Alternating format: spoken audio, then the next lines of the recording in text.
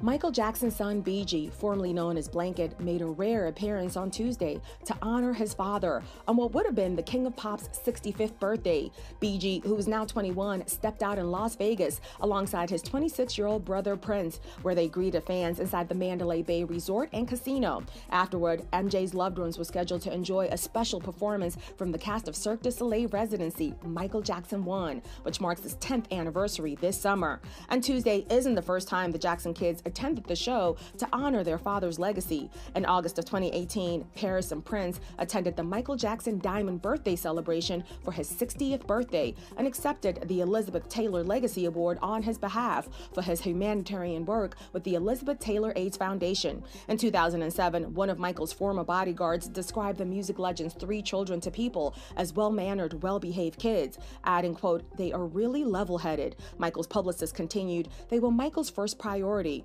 And at his funeral in 2009, a then 11 year old Paris called him the best father you could ever imagine.